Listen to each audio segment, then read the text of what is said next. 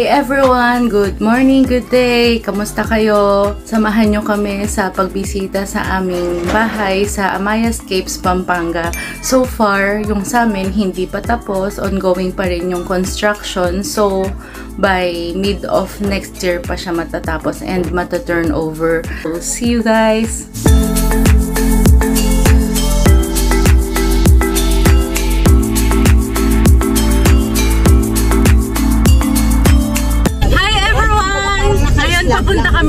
Kami sa Amayascapes, Mexico, Pampanga. At sa mga nakakuha na rin ng unit nila, ito yung chance para mailibot din namin kayo sa Amayascapes, Mexico. Yung sa amin, hindi pa pala siya tapos by next year. So gusto na rin namin makita yung mga bahay doon at saka yung amenities sa loob ng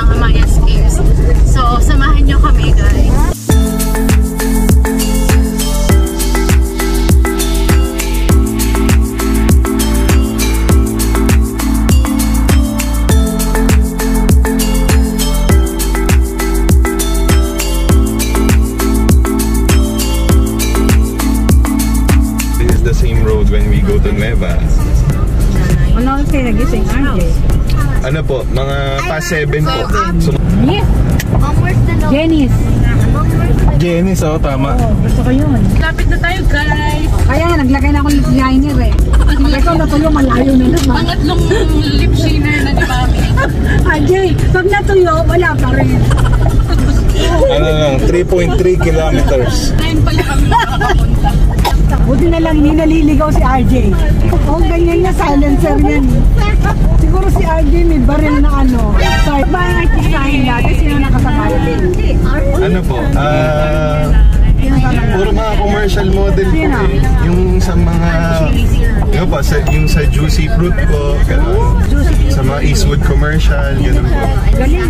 Iba-iba po eh. Pero Ang tawag sa kanya yata, John Lloyd na mahal, tsaka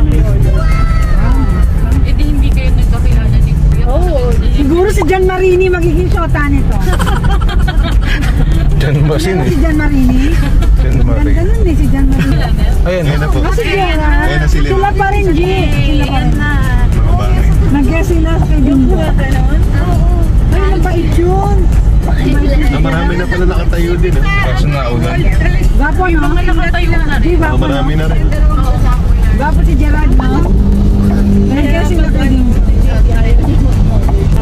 Natin maiikot, makakabang na ulan.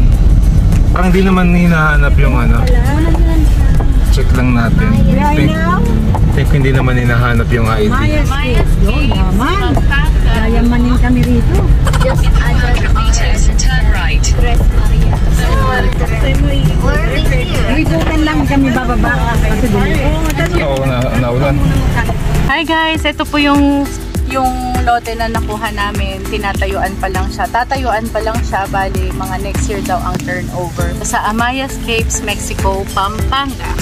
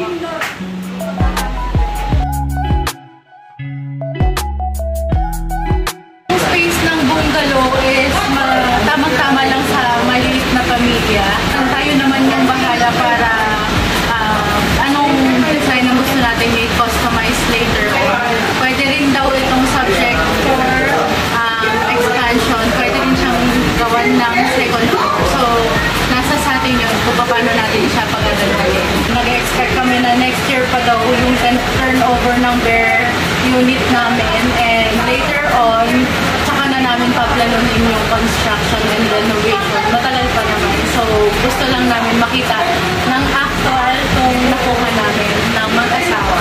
Masaya kami na nakita namin at napasyalan ng actual tong unit, model unit na Mexico, Pampanga. Ganda siya at peaceful yung, yung environment sa labas. Good luck guys! makukuha rin kaysa amaya. So maganda naman yung mga bata.